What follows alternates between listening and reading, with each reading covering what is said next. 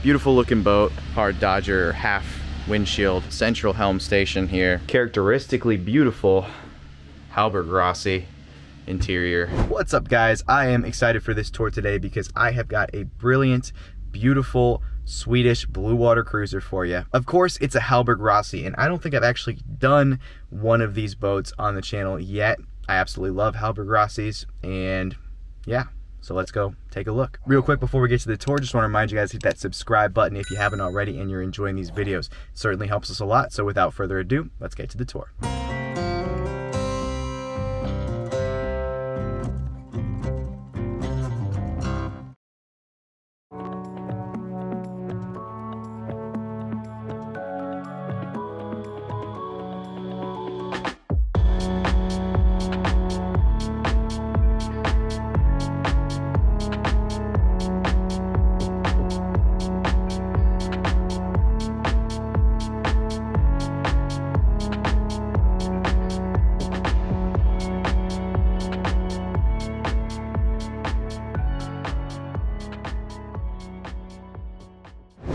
Just gonna give you guys a nice shot of the keel configuration on this Hallberg-Rassy.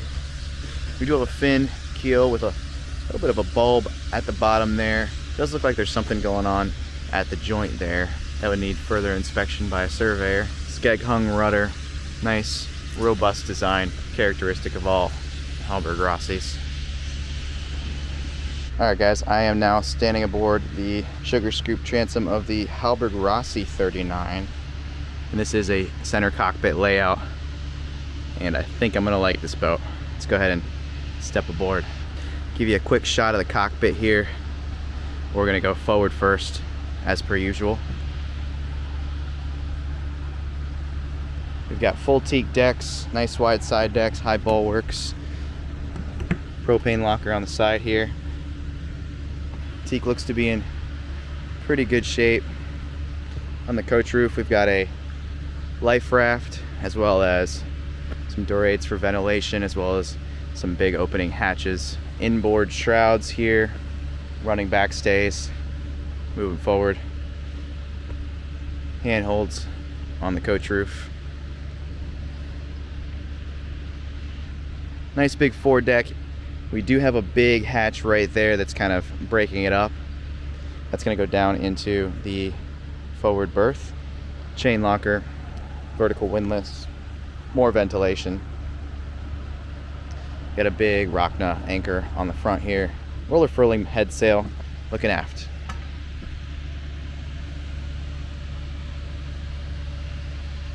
Beautiful looking boat. I mean, what Hallberg-Rassy isn't beautiful?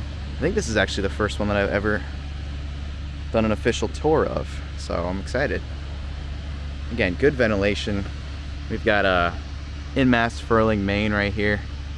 Looking up the mast. Double spreader, main mast, masthead sloop rig.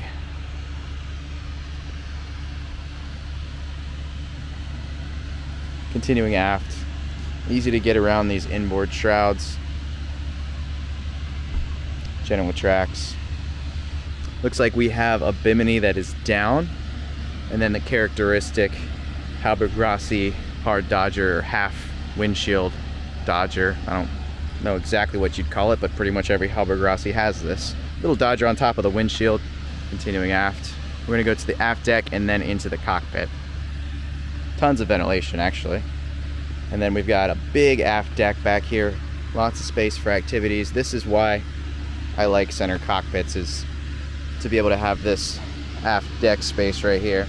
And then usually you get pretty big storage compartment. This one is chock full of stuff, but you got a nice big storage compartment back here as well and a sugar scoop transom. Beautiful platform for fishing, diving, whatever. And then looking up, we've got our radar, a wind generator, and looks to be about 600 watts of solar, something like that ballpark and dinghy davits off the back. So this boat is set up for cruising. Our main sheet is sheeted right here behind the cockpit. We've got four winches in the cockpit here, all lines running aft. Sitting here in the cockpit, we've got our central helm station here, You do have to get up on the seats here to get around it. It's not a T-shaped cockpit.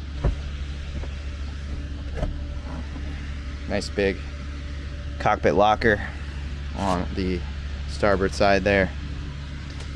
Instruments and engine controls at the pedestal right here. More instruments up there. Good visibility all around the boat and ample protection once you have that that bimini up. All right guys, let's head down below.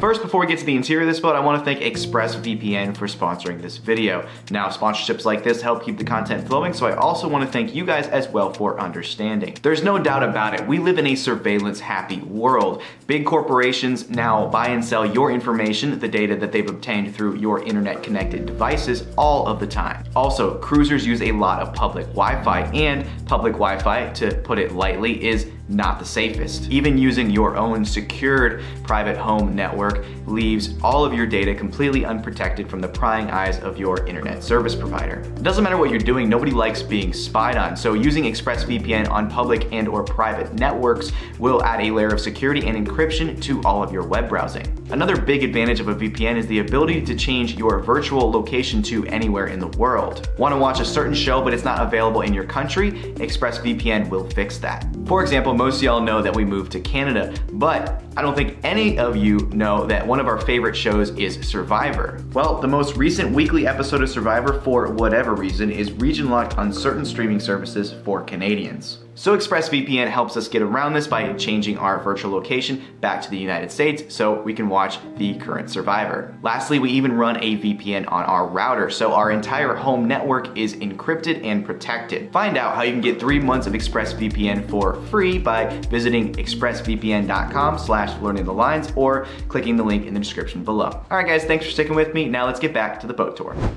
Here we go. This is that characteristically beautiful Hallberg-Rassy interior. They just love their teak. Giving you guys a 360. We're gonna go forward first and then come back, look at everything in more detail. So the forward cabin here, we've got a V-berth with a little cutout. Pretty big V-berth, lots of storage all around it. Beautiful teak in amazing shape everywhere you look. Walking into that little cutout here. Again, we're on the hard, so we've got some stuff stored down here. Once you close that door off, you've got a nice private cabin. You can see some chain plates right there. You've got chain plate access that's visible, which is always a good thing. Your head, I believe this is going to be the think this is going to be the only head aboard. We've got a nice big wet head in here. Storage all around. Yeah, these, these little latches are nice and easy to use. I don't think I've seen this style of latch before. Usually you see like the little push ones. Other ones you have to stick your finger in, but these are not really either of those. So we've got a long settee here that can also double as a sea berth, sea bunk, storage below, behind, and above. This is gonna flip up here. Nice big salon table. Well, you've got wine storage in the middle there. An L-shaped main settee right here. Again, storage behind, below, and above. Let's go ahead and take a look at the bilge. Got our tankage down there wants to be dry. And then aft of the salon, we've got our forward-facing nav station to port, as well as our little nook galley right here. That's going to be good right there for bracing when you're in a seaway. And just good sized little galley, you know, not too big, not too small, everything you need and nothing you don't. Decent amount of storage, cold storage, gimbaled stove, sink, and a good amount of counter space, even underneath the ladder there. You got a little bit extra. Spectra water maker, that's nice. And then forward facing nav station to port here. So let's go ahead and look at that again as we move aft. We got everything we need right here to navigate, to have a little office on the boat, a little little desk, main distribution panel right there. We got some instruments, VHF down here. again, you guys know this was me. I'd put a screen right there and that would be linked with a camera on the mast so you could see forward while you're down here. But that's just me. Why not use tech? You don't have to use tech, you don't want to rely on it, but it's nice to have it. All right, continuing aft, and you just have to barely duck under here. The it's probably about five six headroom underneath this little this little tunnel to get to the aft cabin. Got hanging lockers going aft, and then a very characteristic split berth aft cabin back here. You can lay athwartships or lengthwise. Good friends of ours filled this area in and put a queen size bed in a boat like this, which is certainly doable. Again, storage, ventilation, nice little aft cabin. The headroom opens up when you're down here. You can stand if you're about six foot tall in the middle. And then you've got mirror forward. More storage. So the engine is accessed from right here. Unfortunately, I don't have a key or, or pliers to open up those locks, but I'll put a picture on the screen for you guys to see. Alright guys, it's time for the full continuous below decks walkthrough from bow to stern of this Hallberg-Rassy 39.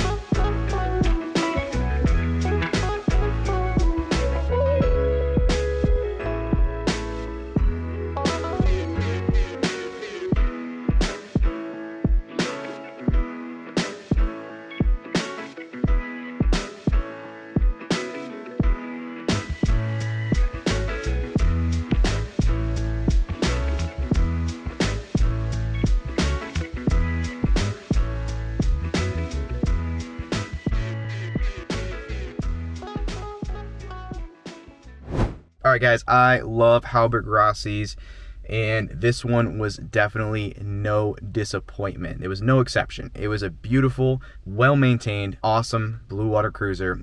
Everything about this boat just top end, high end quality. You're gonna pay for it, depending on you know condition and everything. So I think this boat is definitely priced well. That asking price is going to be in the description below, as with all of these videos, as well as the broker contact information if you guys are interested in potentially purchasing this vessel. What else can I say? I love center cockpits. This was a center cockpit. I love Swedish boats. This was a Swedish boat. I like the look of teak decks. This had a teak deck. This had a beautiful, no nonsense layout with just absolutely storage everywhere. Beautiful teak down below. Everything was in amazing shape. You can tell this boat was bone dry, no leaks in the cabin pretty much ever. All that wood, really, really good shape. It had a single head layout which maximizes living space and storage on a cruising vessel of this size. I like that. Two cabin layout with a V berth and a massive aft cabin. Good engine access, amazing build quality, just a solid blue water cruiser built to go anywhere. So yeah, what else can I say? The future owner of this vessel is going to be very happy and I'm going to be a little jealous. So that's going to be it for this one, guys. If you enjoyed it, please leave a like, leave a comment down below, subscribe if you haven't already, and hit that notification bell if you want to know each and every time we drop a video. See you guys. I've got it right and I got it wrong But I learned my lesson hanging on Come sit here with me by fire And let it